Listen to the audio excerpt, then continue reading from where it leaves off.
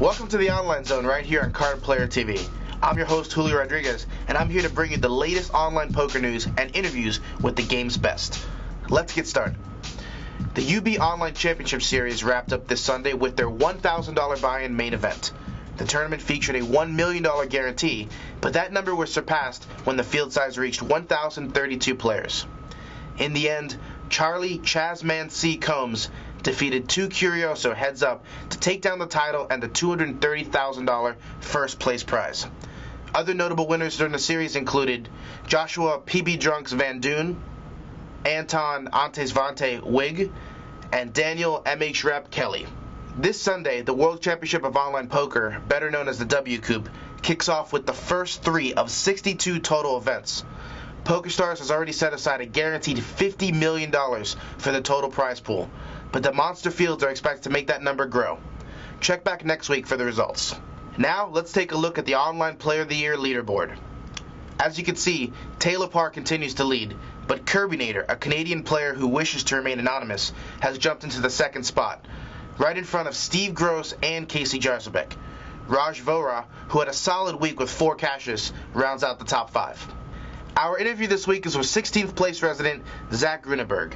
The 20 year old Penn State student has been one of the more consistent players in the OPOY race this year, with 28 final tables, including a win in the Sunday Mulligan.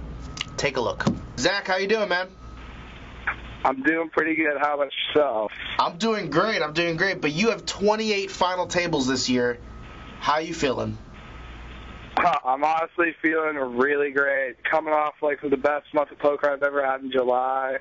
Like I'm at like the top of my game. I'm feeling great. Everything's working out. I didn't even know that I had 28 final tables, but I knew it was a lot.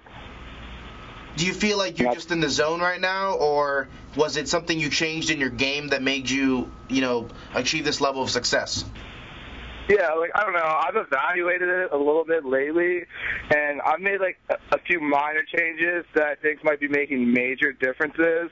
But it's like hard to tell because like they're so minor that I feel that it might just be like I'm running a little bit better. But like I'm not sure. Like it, it depends.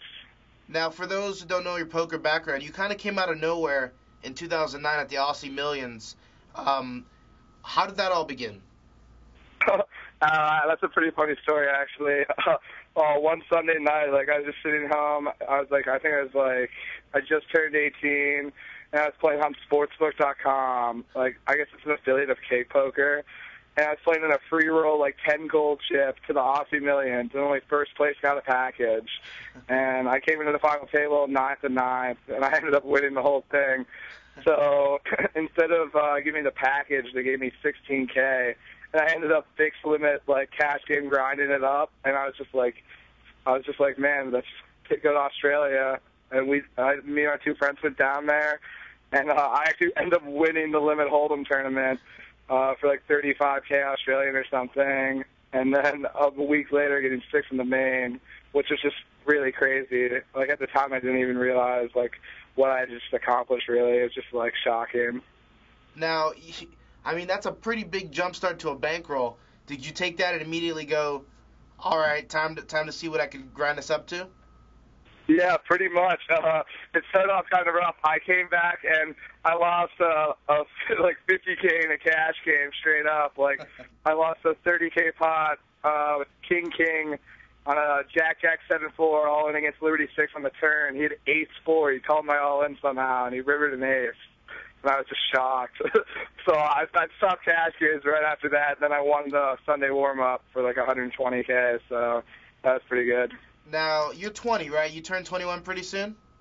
Yep, I turned 21 November 2nd. All right. So you're sitting, you, you go to Penn State. Um, what's it like being like, you know, the rich guy on campus? uh, well, I, I don't go to Penn State anymore. I, I still live here, though. Um, I don't know. It's it's kind of it's kind of weird because I I live in the same town as uh TSU tennis and Avril Sharapova, so it's not like there's just one of us. There's like actually a, a lot of really sick poker players in State College. It's pretty crazy. So no one's ever hitting you up for beer money or anything like that. Oh no, no! I'm getting hit up for money all the time. I, I've shelled out a, a large sum of money to partying around this town. That's a fact. So you're turning 21 soon. Do you have any plans to finally play stateside? Oh yeah, absolutely. Actually, uh, I just read like a month and a half ago that uh, like 10 days after my birthday, they announced that ABT in Los Angeles, and I'm shipping it out there right away for to celebrate my 21st and uh, try to win that. For sure, man. For sure. Well, I'd like to thank you for being on the show. Yeah, no problem. Thanks for having me. That will do it for us here on the Online Zone. Be sure to send in your comments and questions to the Online Zone at cardplayer.com. See you next week.